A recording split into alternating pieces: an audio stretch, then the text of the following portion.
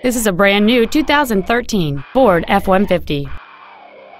It features a 5.0-liter eight-cylinder engine and an automatic transmission. All of the following features are included. A double wishbone independent front suspension, a low tire pressure indicator, traction control and stability control systems, automatic locking wheel hubs, an engine immobilizer theft deterrent system, an anti-lock braking system, side curtain airbags, door reinforcement beams, and an auxiliary power outlet.